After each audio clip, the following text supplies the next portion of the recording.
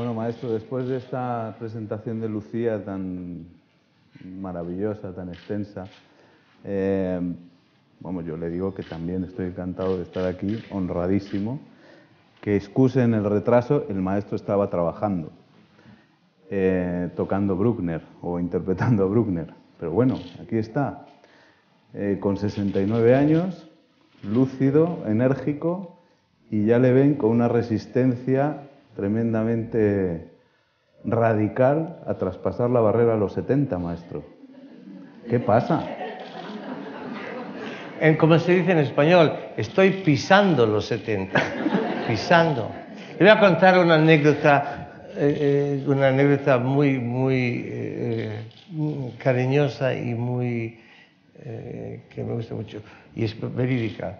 En Inglaterra había un señor que, que ya falleció, falleció a los 100, 107 años.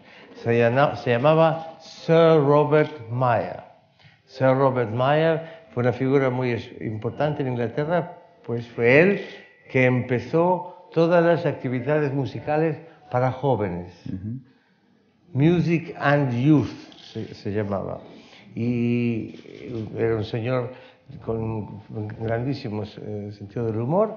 Y él siempre decía que lo que lo hizo famoso a él fue que cuando él estudiaba el piano en el Conservatorio de Mannheim, en Alemania, tuvo la gran suerte de no ganar el primer premio cuando Brahms vino a, visitar el, el conservatorio, porque el primer premio tocó 20 minutos para Brahms y eso fue todo. Y a él, como estuvo, llegó de segundo, como consolación, le, dije, le dejaron acompañar a Brahms todo el día, que era mucho más. es gran amigo de, todo, de, todos los músicos. Y cuando cumplió 100 años, yo fui a, a, su, a ese, un concierto que se hizo con la Orquesta Sinfónica de Londres, dirigida por Colin Davis, con Janet Baker que cantó y Yehudi Menuhin y Isaac Stern. Y él cumplía 100 años.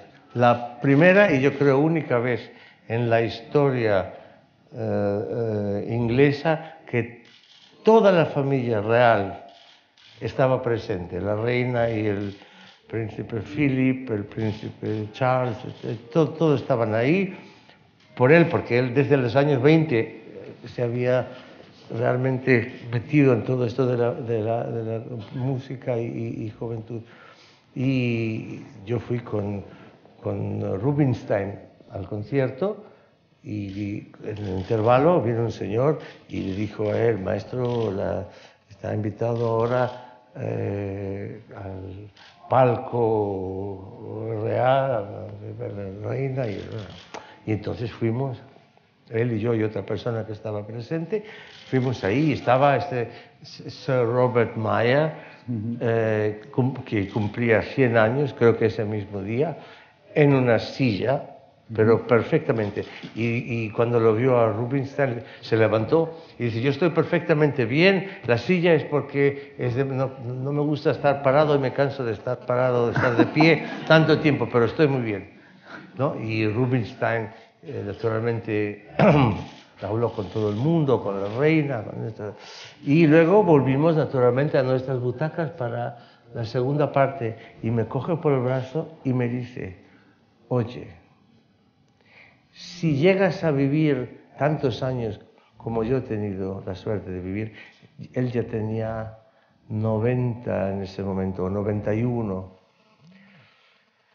no cometas el error que cometí yo cuando yo cumplí 70 o 72, me empecé a olvidar de mi edad exacta. Ya, ya me entiendes, ¿no? En lugar de 75 eran 73 y... No hagas eso. Mejor que agregues algunos años.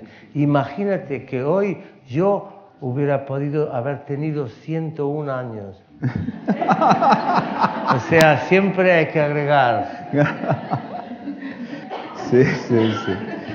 Lucía va a ser, va a ser el, blanco de Pero bueno, eh, yo creo que, que a, ciertas edades, a los 69, a lo mejor maestro, no sé eh, si se mira más hacia, detrás, hacia atrás o hacia adelante. adelante. Siempre. A todas las edades se mira adelante. Cuando, cuando se mira para atrás uno se puede atropezar con algo. Ya. Bien. Hay que mirar adelante. Hay que aprender de lo de lo detrás, pero mirar adelante. Yo me imagino a Danielito Barenboim en el Teatro Colón o en Argentina, con 5 o 8 años, siendo un niño prodigio. ¿Qué es un niño prodigio, maestro? Ah, yo, no es que a lo mejor fui un niño prodigio, yo seguramente que fui un niño prodigio, eso lo digo formalmente. La prueba está que el prodigio ya se fue, pero el niño sigue.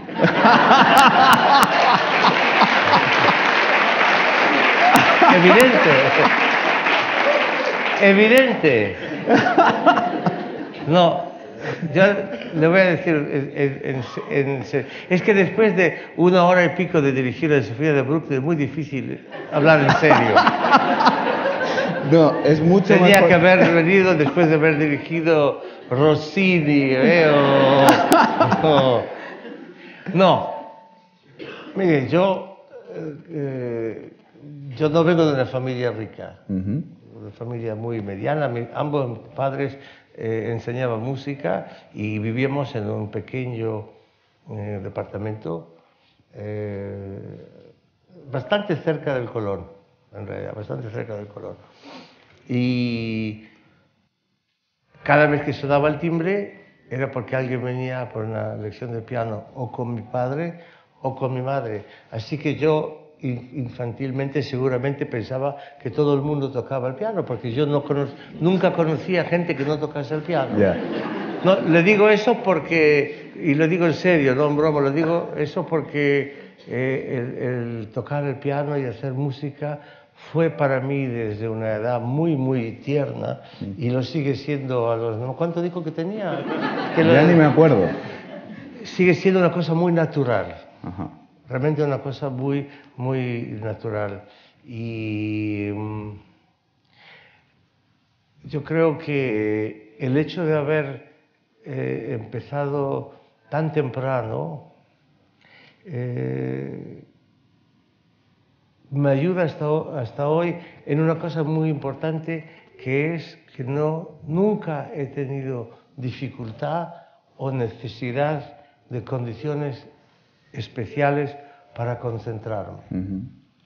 Porque claro, yo de niño iba, iba, iba al colegio, eh, por la tarde eh, jugaba al fútbol eh, en la calle. ¿De qué equipo era usted? ¿De Boca? No, no, en. Israel, eso ya más Ah, tarde, o sea, a los 10, 11 años. Pero tendrá no equipo. Pero tendrá equipo. ¿Eh? Tendrá equipo hoy. Hoy, sí, pues eso...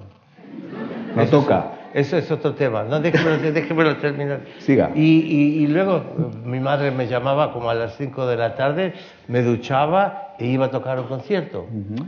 O sea que en mi mundo infantil yo vivía la, la grandísima parte del día como todos los otros niños Ya, y cuando hacía falta me concentraba y podía tocar. claro. Y, y eso lo- realmente eh, eh, lo he visto eh, muchos de mis colegas que, que, que están realmente celosos de eso porque eh, necesitan cosas, condiciones especiales Ya. para, para con- concentrarse. Y yo no, por eso yo no tengo ningún rito el día del, del concierto. Y eso lo- no tengo ningún rito por- también porque no quiero caer en dificultades. Ya. O sea, si por ejemplo yo digo, yo puedo tocar solo si eh, como un sándwich con jamón y queso bien tostadito dos horas antes de tocar. ¿Qué hago en una ciudad donde no encuentro esto? Claro, malo. Tengo un problema. Malo. O cual- cualquier otro rito. Hombre, un O sándwich de sea, y jamón la y gente queso. me pregunta, ¿usted come antes del, con- del concierto o come después? Digo, cuando tengo hambre, como. ¿Qué tiene que ver el concierto? ¿Por qué le cuento todo esto? Porque yo creo que hacer música, para hacer música bien, hay que, hay que vivir lo más naturalmente posible. Y no con las locuras. Las locuras de los artistas es para la expresión artística, pero no para Pero no darse para- aires y todo esto que... Eso no son locuras, son caprichos, maestro. ¿Eh? Definamos, eso son caprichos, no son locuras, ¿sí o no? Los de Goya me gustan más. Ya veo que Bruckner le inspira, pero en fin, vamos a ver. ¿Y, y cómo le, y qué le pareció el mundo de la gente que no tocaba el piano? Cuando les empecé a, a Cuando usted salió y vio que en el mundo había gente que no tocaba el piano, ¿qué le pareció? me gustaron. me gustaron, o sea, no, no, no, naturalmente yo, lo- yo lo, lo cuento, es una cosa muy, muy, muy infantil. Ujú. pero es- eh, realmente estoy, estoy muy feliz del hecho de que, que- que he llegado a la, a la edad que, que he llegado y, y haciendo tantas cosas de muy joven Ya. y no tener un momento de mi existencia en el cual siento, ay, pero por todo esto, la música, el piano, esto, lo demás, eh, no, no tuve la juventud, no, no, no, no, absolutamente no. Yo, yo creo que tuve una juventud muy, muy normal, muy feliz. Es muy importante vivir según la edad, la edad que uno tiene, porque todos eh, hacemos tonterías, pero tonterías diferentes a diferentes edades. Y cuando no se hacen las tonterías que son las justas para 8 años, a los 17, cuando se las hace, ya es- tiene algo de anormal. O a los 69, o a los O a los 69, 69. que se puede caer en ese vicio. Bien, no, pero bien. Me, me- me gusta cómo, cómo- cómo estamos encaminando esta conversación. Y esto, el, el gran ejemplo para mí en ese sentido fue Arturo Rubinstein. Sí. Es, Por- que, es que le iba a decir, perdone maestro, como cuando usted me ha, me ha- me ha dado, eh, ha contado la anécdota de este hombre de 100, de 100 años, eh, Robert eh, Maya. em, ¿cómo se encadena en el mundo de la música la tradición con los maestros? Este hombre que, que conoció a Brahms, después usted le conoció, usted también conoció a Rubinstein, a Furlanger, ahora nos habla de ellos, luego pues ejemplo de los jovencitos del diván podrán decir dentro de 69 años yo conocí a Barenboim, etcétera. Y así se va formando una tradición interesante. No se van de a atrever porque yo todavía voy a estar ahí. Sí, usted estará allí, usted No estará allí en esos ensayos donde les dice, parecéis profesionales, parecéis profesionales. Sí, sí. Que le he visto, es usted tremendo. ¿eh? No, yo decía de. Rubinstein porque Rubinstein realmente era el, arti- el, el hombre más normal entre todos los artistas que, que he conocido. Sí, En primer lugar, un hombre de una cultura vastísima, que leía, hablaba muchos idiomas y leía todo, en, en- leía Goethe en alemán, leía Balzac en francés, leía eh, el Don Quijote en español, leía el ruso, el polaco, en fran todo, en todo- todos los idiomas.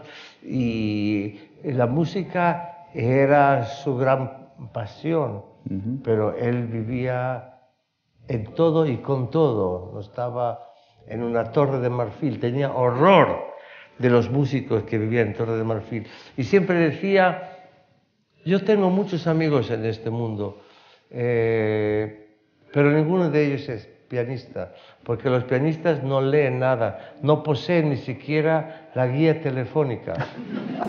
Hoy se comprendería, pero en esa época, cuando había... Y es, y es verdad.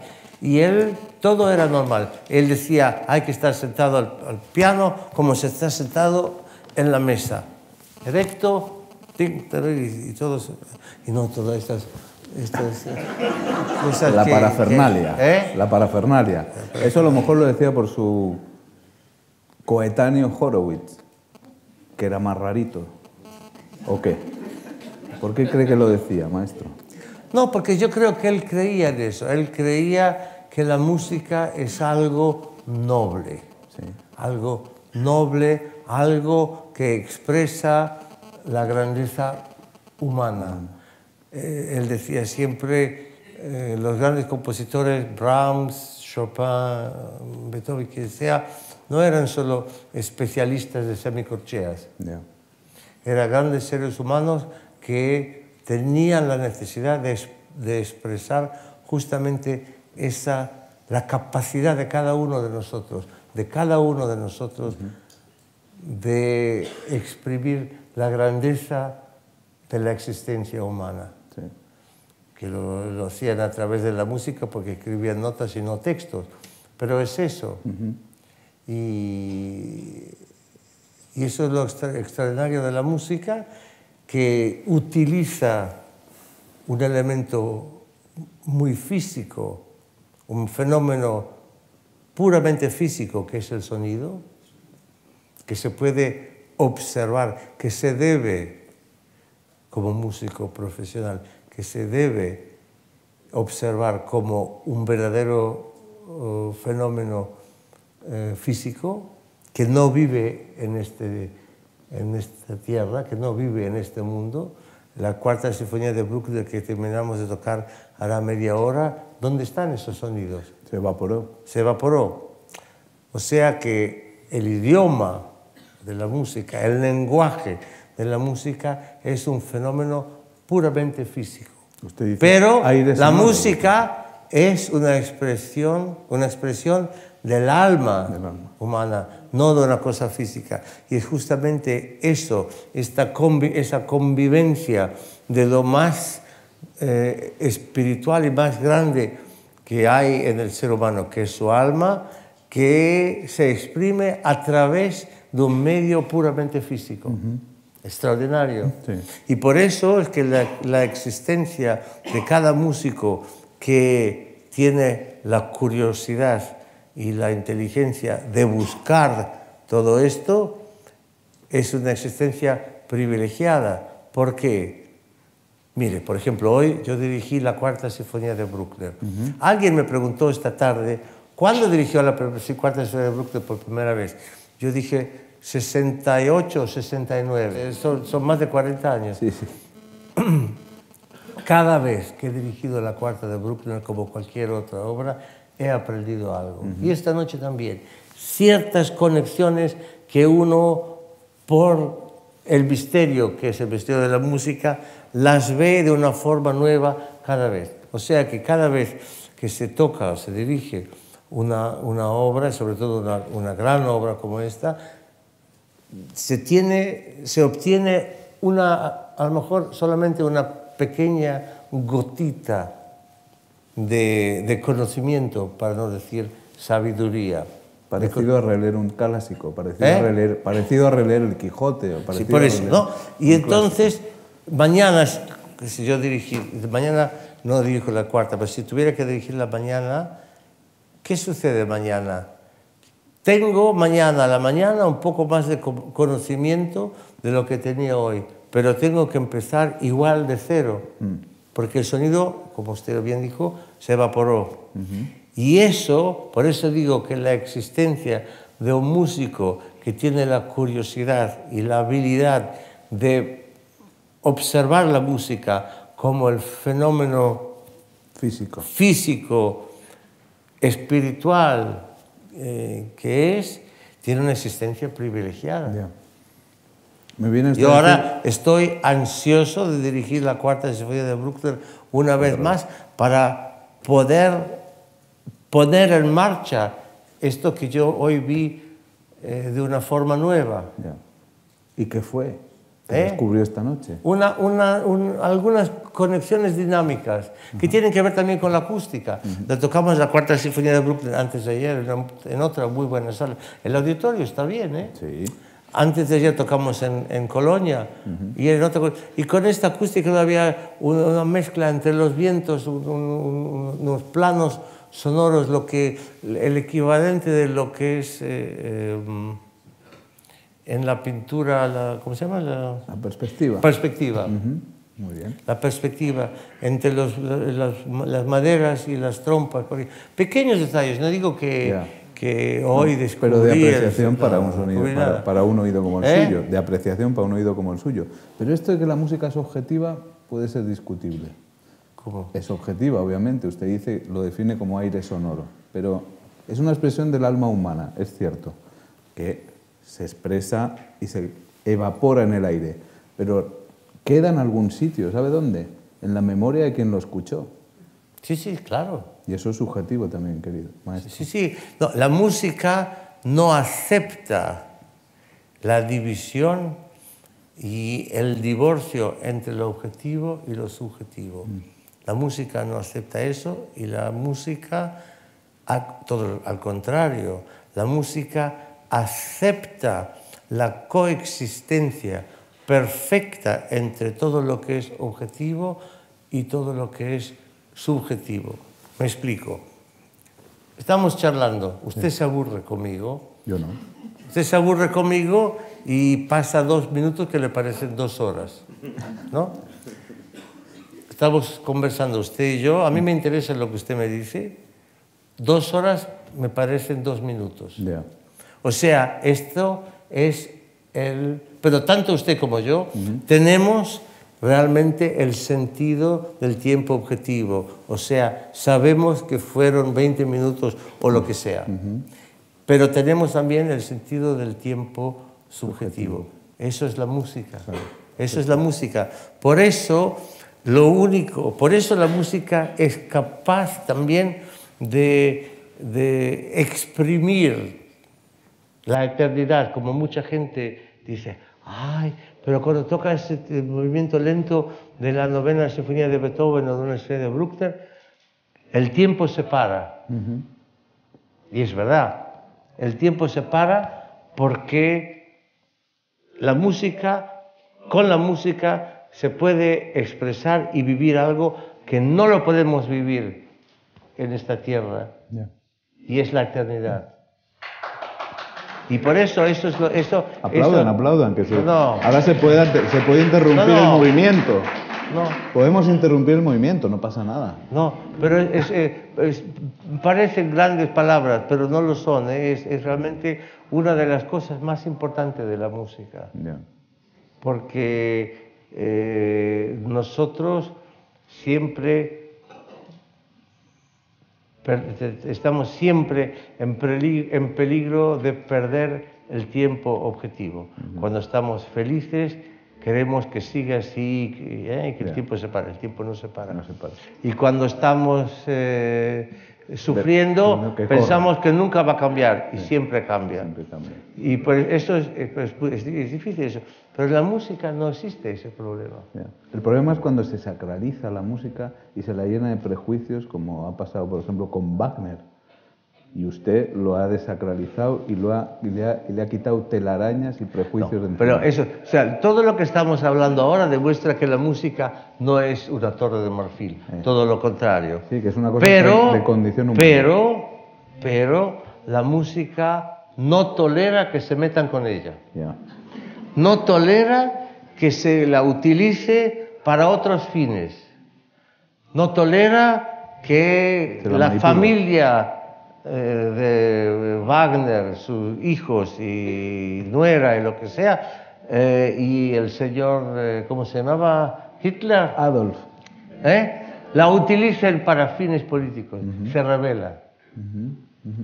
Por eso la música, es, eso el sentido es paradójico, porque es parte de nuestra vida, pero quiere mantener su pureza, no digo independencia, pero su pureza de es quién es, y no es otra cosa, y no se puede. Mire, por ejemplo, el, el- el proyecto este del, del diván, ¿eh?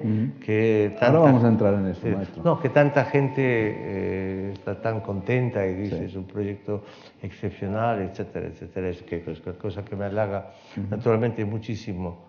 Pero en el momento que están tocando los israelíes y palestinos y sirios y libaneses, gente que está en situación de guerra, que sus países están en situación de guerra. Uy. ¿eh? Cuando tocan, cuando están tocando la música, se olviden de todo eso. En ese momento están solo para la música. Por eso yo siempre digo que para mí la música te da herramientas para olvidar lo que no te gusta de este mundo. Ajá. El señor que vuelve a su casa a las seis de la tarde después de haber tenido un día fatal en la oficina, de haberse peleado con su mujer, su amante, a lo mejor las dos, eh, que tuvo que ir al Hombre, en la dentista. oficina se pelearía con su jefe, digo yo. Esto también, que fue al dentista, que le dolió, que tuvo que ver por sus impuestos, etcétera, y todo eso, y vuelve, pone las piernas sobre la mesita, un doble whisky y pone un disco de los nocturnos de Chopin y se olvida de todo eso. ¿no? no está mal. Pero al mismo tiempo, cuando se observa la verdadera naturaleza, naturaleza y profundidad de la música, se aprende tanto sobre la vida, pienso yo, sobre la vida y sobre la existencia humana. O sea, que siempre te da una cosa y su contrario. Todo lo que, imagínense lo que sería nuestra vida si pudiéramos vivir así fuera de la música. Es que la paradoja construye, maestro, la paradoja es constructiva y eso que habla usted, y, quizá el diván eh, también lo que es es, el, un ejemplo necesario de provocación intelectual. Yo que he estado en el diván, que he estado con usted, que he visto los ensayos, la caña que les da usted, cómo se aunan por la mañana para tocar Beethoven o Mahler y por la noche es, llega el diván y, aparece la discusión y, aparece el ejercicio intelectual de, de afrontar el conflicto, es realmente envidiable. Pero usted dice que con eso no quiere hacer política pero sin embargo hace una provocación intelectual tremendo. Usted dice que cuando los dirigentes de uno y otro lado le dicen que no pueden, que esos pueblos no pueden vivir juntos, dice que se lo repitan cuando vean a un chico y a una chica palestina o israelí tocando la primera de Mahler juntos.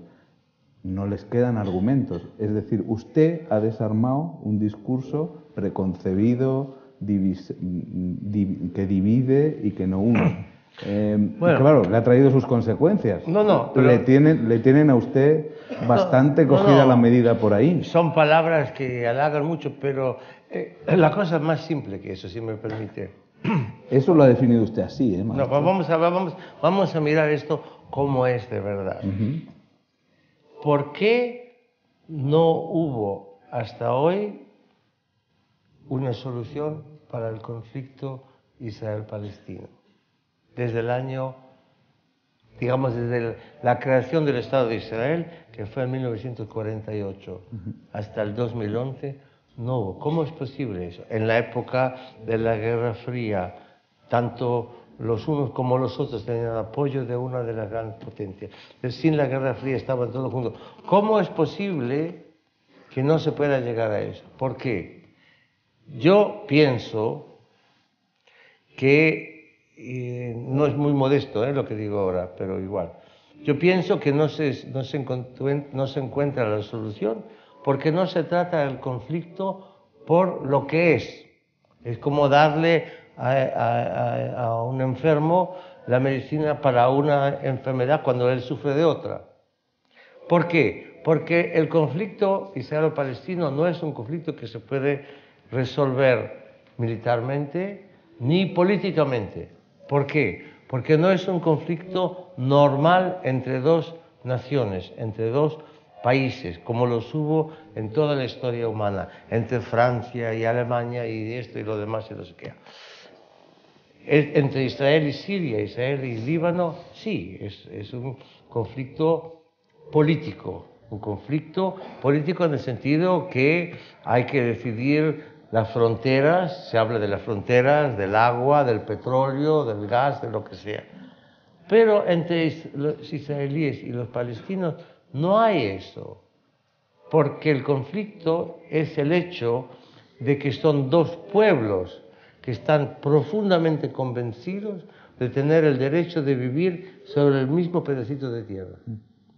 ¿Cómo quiere resolverlo eso? Y no hay uno, ningún presidente de Estados Unidos, ni ningún cuarteto, ni las Naciones Unidas, ni todo eso que realmente han tratado ese conflicto como es de ese, en ese sentido. Y, no, no, no, ha sido tratado así y ambos pueblos no lo ven así.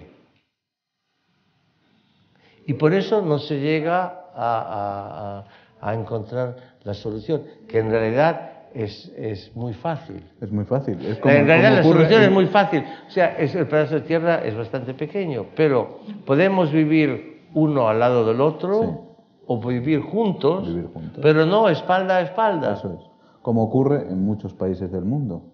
Pero es que precisamente el discurso oficial ha sido mantener eso, que no pueden vivir juntos. Y el discurso que usted propone como provocación, como gran provocación, es que sí pueden vivir juntos. no es que puedan o no puedan, no tienen otro remedio. es que lo demuestra. No es que, no es que puedan o no puedan, es que no hay otro remedio. No hay otro remedio. No hay otro remedio. Y cuando por eso todo lo que se habla ahora de la solución de un Estado o de dos Estados y etcétera, eso no es importante. Esto no se va a resolver ahora. Y están los hay muchos palestinos que dicen, nosotros estuvimos aquí, tiene que ser un Estado para judíos y árabes y, y, los israelíes realmente que no, eso no es.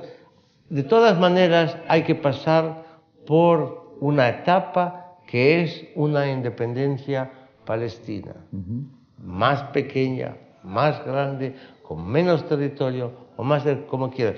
Pero antes de poder pensar cómo van a vivir o juntos o al lado de los judíos en esa región, tienen que tener el sentimiento, no solamente el sentimiento, sino las condiciones de independencia, como toda persona adulta.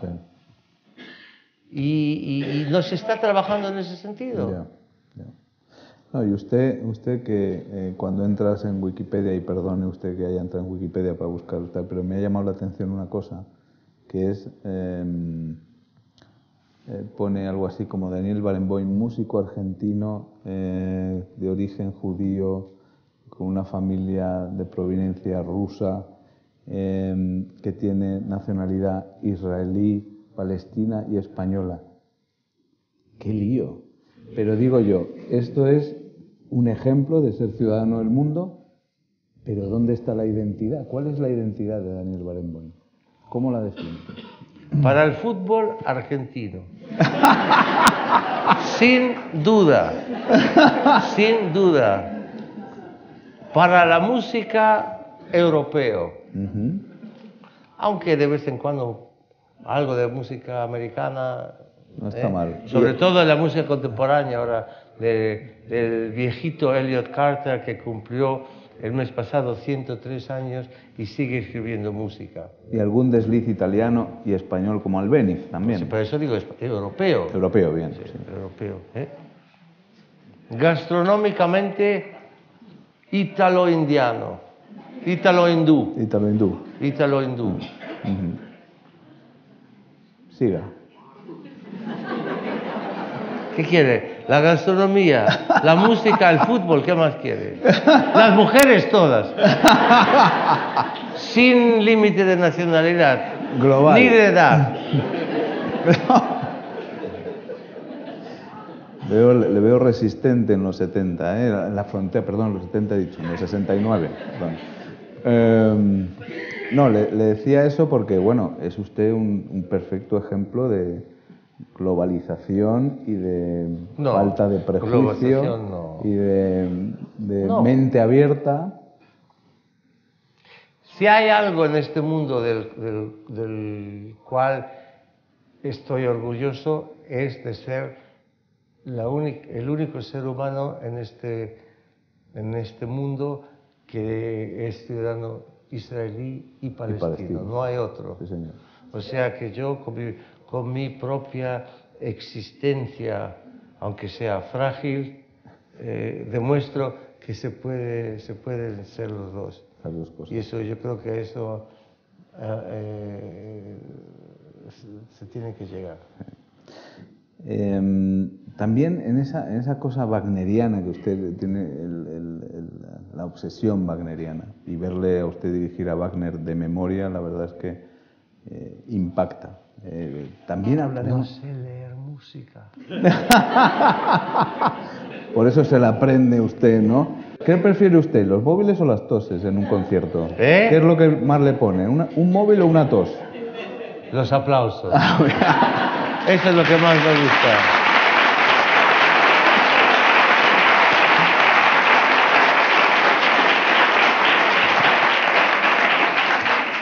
Hoy, ninguno de vosotros estuvo en el concierto. Han venido, sí, además me han dicho que, que no lo pudimos empezar. Yo, en la parte de Brooklyn empieza pianísimo y yo estaba ya dos veces para empezar.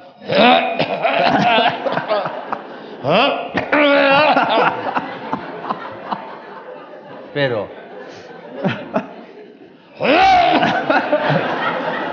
Entonces saqué el pañuelo y después estuvieron tan tranquilitos, no soy yo nada, toda la sinfonía.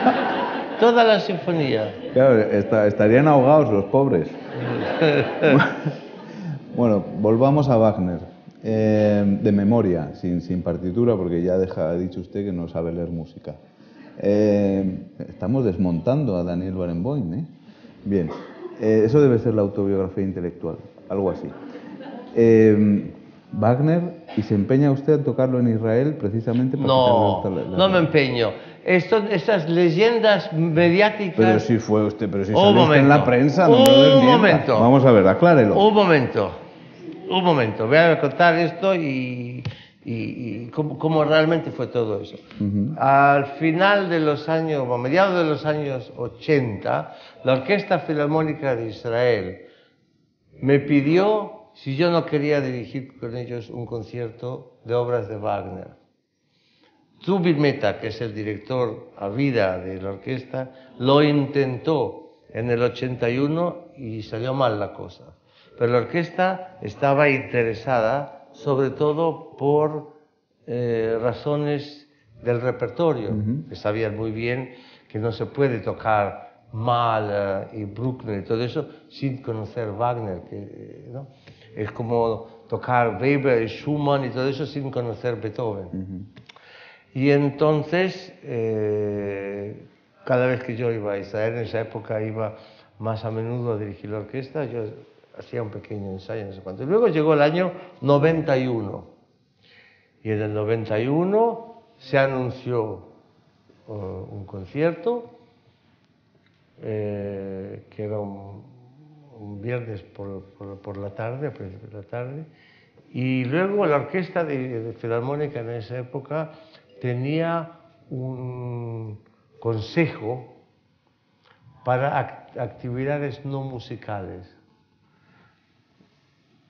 Consejo que, por ejemplo, daba su opinión si la orquesta debería ir a tocar en Sudáfrica, aunque estaba el apartheid, porque había una gran población judía. O sea, toda clase de temas que no tenían que ver directamente con la música. Y este consejo se reunió para discutir lo del concierto este de Wagner. Y yo dije, antes que se reúnan, yo dije, este concierto yo lo dirijo solamente si la orquesta lo vota, que si lo quiere hacer o no, y que esté claro que el que no se sienta en condición de poder tocarlo, aunque le parezca justo, puede estar libre de ese concierto. Mejor no es posible. La orquesta votó, votaron de, de, cien y pico, seis músicos en contra y solo uno de ellos dijo que él, como había estado en Auschwitz y, había sufrido tanto él y toda su familia, no se sentía en condición de poder tocar eso. Y yo dije, pero como lo he dicho de antes, el que no quiere no toca. O sea, no, hubo problema. Se reunió ese consejo y que sí, y que no, y que esto, y que lo demás, y no sé cuánto. Al final salieron con un, con compromiso. Eh, eh, salomónico o mónico, de mono más que de salomónico, con un eh, compromiso salomónico diciendo que no se hace el concierto, pero se hace un ensayo abierto a la misma hora. Por invitación. Eufemismo. yo fui a, la sala, a la, creo que era a las 12, y había demostraciones por las calles de niños de escuelas de Herzliya y de otras, mm. con banderas, que no toquen Wagner, niños de 11 y 12 años. Es lo que en países como Rumanía, Polonia y en Unión Soviética se llamaban demostraciones eh, espontáneas y populares. La verdad es que me dio asco. Porque niños de 11, 12 años que... Y el tema se terminó. Se crea el diván en el 99 mm. y el del año 2000, el segundo año del diván, vienen a visitarme en Weimar, donde era el segundo año, los, la gente que dirigía el Festival de Israel, para decirme que ellos pensaban que ahora ya había pasado tantos años y que ahora se podía tocar Wagner, y que yo era la persona justa para hacerlo, por musicalmente la experiencia que yo tenía, siendo ciudadano israelí no sé cuánto. Yo encantado. Llamé a Plácido Domingo, que él había estado en Israel desde al principio de su carrera, todos sus comienzos lo, lo hizo cantando en la ópera de Tel Aviv en el año 63, 64. Digo, Plácido, eh, estuvo dos años y, medio, viene. ¿Tú quieres ir? Ah, me encantaría. Primer acto de la Valquiria, perfecto. Estaba René Pape y no me acuerdo quién era el soprano, no me acuerdo. Entonces no tiene importancia. El concierto se anuncia y el concierto se vende en menos de 24 horas con la Staatskapelle en Jerusalén. O sea, que no me digan que yo eh, traté a todo precio de ir a tocar Wagner. Todo eso fue en diciembre, enero, que se, que se arregló todo eso. El concierto, eran tres conciertos, uno de ellos era la Valquiria. En abril me llaman por teléfono. Estos mismos señores que habían venido a visitarme para pedirme que haga eso, dice es un poco difícil porque el gobierno está en contra y el gobierno dice que si nosotros, el Festival de Israel, eh, hacemos eso, nos van a cortar la subvención, todo cosas muy, muy democráticas también, muy, ninguna presión, muy ninguna abiertas, presión. ninguna presión. siéntese, siéntese, libre. Y ¿no? me dice el, este señor, me dice, eh, yo te conozco y me vas a mandar al diablo con todo eso. No lo hagas porque eh, eh, así son las cosas y no, no canceles todo ahora. Por favor, te ruego, haz otro programa. Yo digo, muy bien.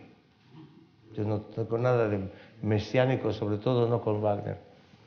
Y entonces pusimos eh, otro programa que era la cuarta sinfonía de Schumann y la consagración de la primavera ¿eh? de Stravinsky. Llegamos a Jerusalén. Tocamos los dos primeros conciertos, un miércoles y un jueves. Y el viernes era el día libre. Y el concierto este de la cuarta de Schumann y la consagración era el sábado.